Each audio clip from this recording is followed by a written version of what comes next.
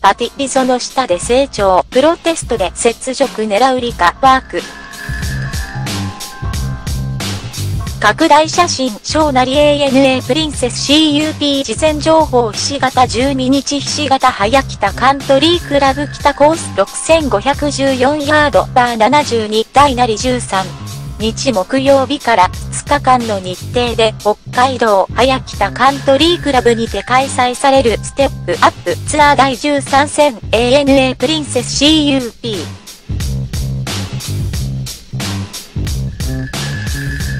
同大会には2週間後の最終プロテストに挑む選手が数多く出場している。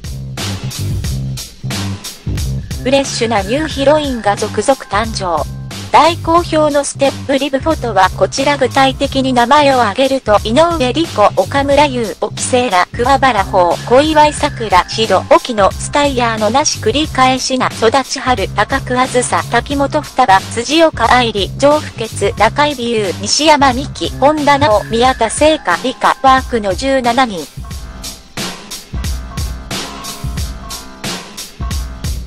初受験の選手、挑戦し続ける選手と背景は様々だが、昨年のプロテストで最も悔しい思いをした一人は1ストローク差で合格を逃した理科ワークだろう。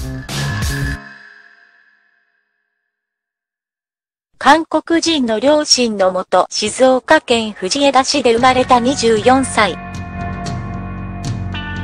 7歳からゴルフを始めて頭角を現し、14歳で渡米。高校卒業後はマイアミ大学へ進み、2016年3月に帰国、日本ツアーに参戦中という一色の経歴を持つ。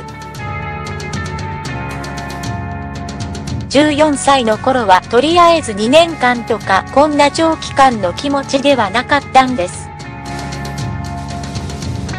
ですがあっという間に年が過ぎてしまいました笑い。高校を卒業して大学に行かず、プロになろうと思いましたが、絶対に大学で教養を身につけつつ、ゴルフチームに入った方がいいと勧められて、点々点いくつかの大学から誘いを受けた中でマイアミ大を選んだのは岡本彩子と親交が深いことでも有名なパティ・リゾがヘッドコーチをしていたことが理由だった。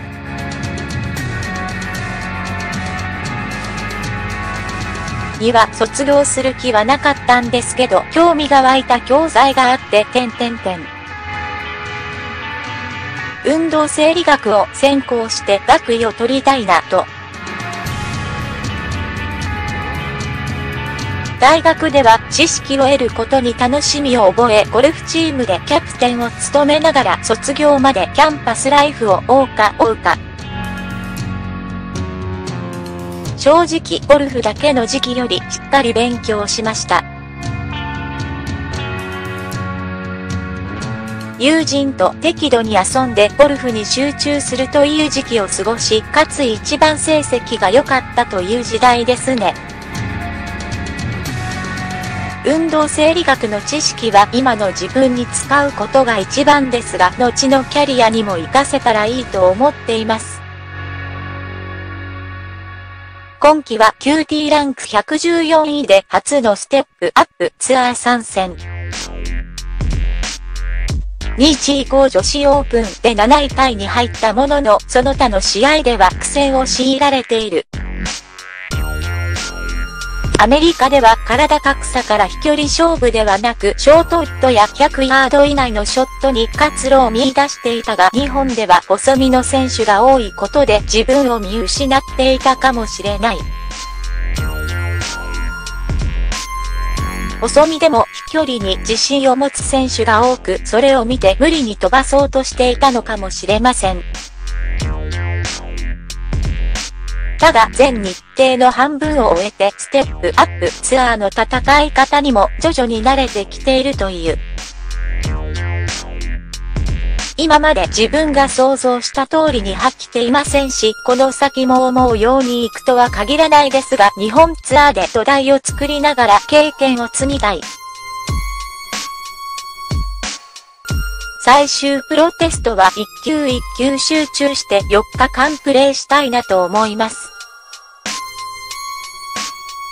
最終的にはアメリカでのプレーを希望するが、まずは日本での活躍を第一。プロテスト合格はそのファーストステップだけに、まずは今大会で活躍して翌週、昨年の雪辱を果たしたいところだ。